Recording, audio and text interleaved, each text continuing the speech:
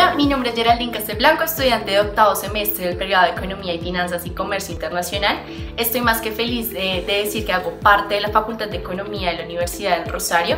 En toda mi formación académica he contado con personas extraordinarias, desde la parte administrativa, profesores, compañeros, amigos, personas que han dejado un granito de arena en mí y han hecho de estos años los mejores de mi vida.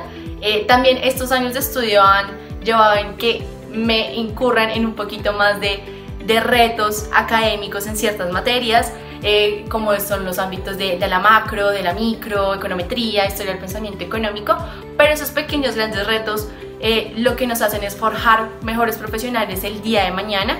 Eh, y apelando mucho a nuestro sentimiento rosarista, creo que la Facultad de Economía hace un muy buen trabajo en no solo forjar profesionales netamente académicos, sino también personas íntegras al servicio de la comunidad día de mañana.